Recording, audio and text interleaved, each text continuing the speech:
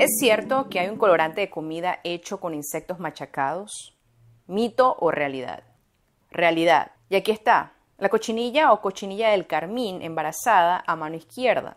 Y a mano derecha es como se ven cuando las machacas o aplastas. Pero ¿cómo sé si lo que compro tiene estos insectos? Bueno, para empezar, la etiqueta no va a decir este producto tiene insectos que fueron añadidos a propósito. Dice cosas como colorante añadido, extracto de cochinilla, rojo natural 4, carmín, ácido carmínico, color natural, si lo traducimos al español. ¿Dónde lo podemos encontrar?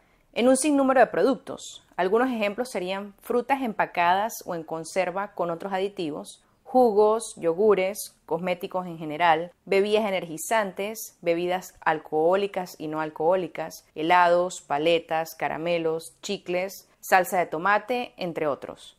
Pero bueno, poco apetitoso, quizá, pero ¿es perjudicial? El jugo que sale de aplastar los insectos es después de todo natural. Quiero decir, no hay nada de artificial en los insectos. Entonces, ¿son perjudiciales o son simplemente asquerosos pero inofensivos?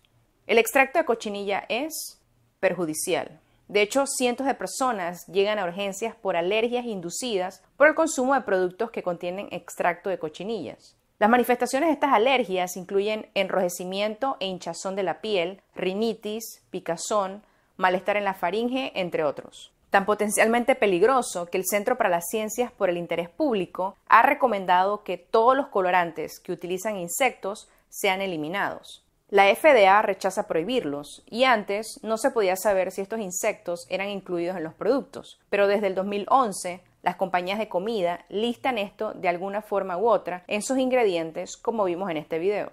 Pero obvio, las leyes son diferentes en cada país y es probable que no sepas si ese producto procesado que te estás comiendo tiene o no colorantes provenientes de insectos. Así que evita los alimentos procesados si no quieres encontrarte con este tipo de colorantes. Y la pregunta de las compañías sería, si quieres que tus productos tengan un color rojo, ¿por qué mejor no les añades cerezas o fresas?